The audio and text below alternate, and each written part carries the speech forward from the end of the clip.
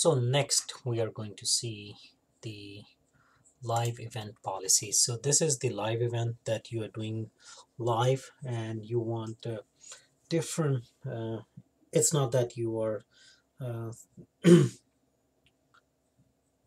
uh, sending out invitation for people to join. Sure you are but it's not a closed meeting. It's live event like uh, you know uh, like apple when they reveal their product it's a live event they broadcast it. So it's it will be like a broadcast it'll just like a tv so anybody can actually go to your link and see while it's being broadcasted.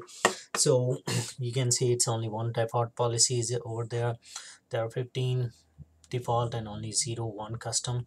So we can see the default policy which is allow scheduling do you want this allow it to be scheduled? Yes. Uh, allow transcription for attendees that's the like whatever being said uh, transcribe it.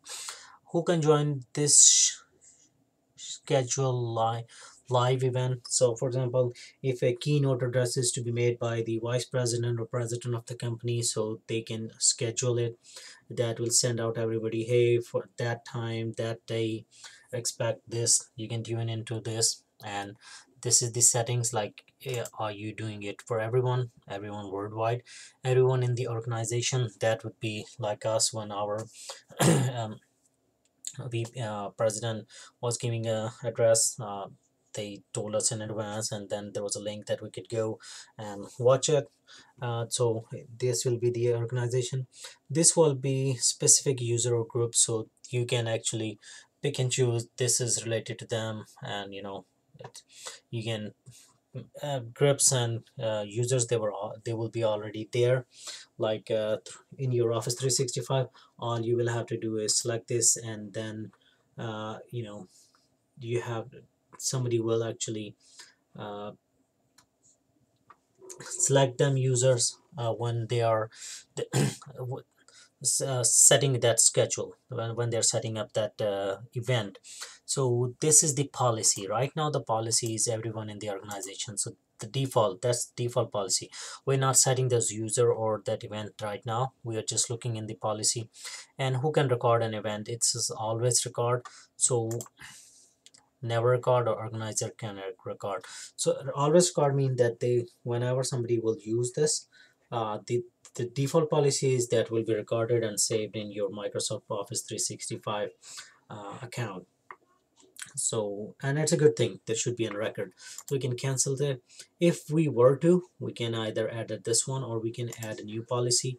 So again you can see it's exactly the same thing and that's across the board same in Microsoft uh, Office 365 that uh, the policy is simply very minimal uh, options to choose from and it's uh, the same and you will be only just making one or two adjustments and create a name. So everything is same. You could say that okay only organizer can record or never record.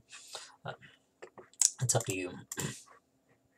Or you can you know set up that uh, who are the users will be uh, in that group that can uh, attend that live event. So manage users you can uh, for the global you can manage which users are. If you have a custom policy then you can go to manage and search those users. For example if I were to search Ali so the policy will be applied to Ali so this is the live event policies pretty straightforward and reset global policy you can reset it meaning that if you made any changes you can reset it to what the default was. But it's a good idea to create different or separate um, hmm, policies. So you can see custom policy is allowed. If I were to off it and apply your changes are saved and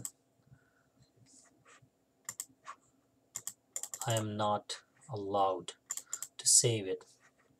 Oh maybe this is the case.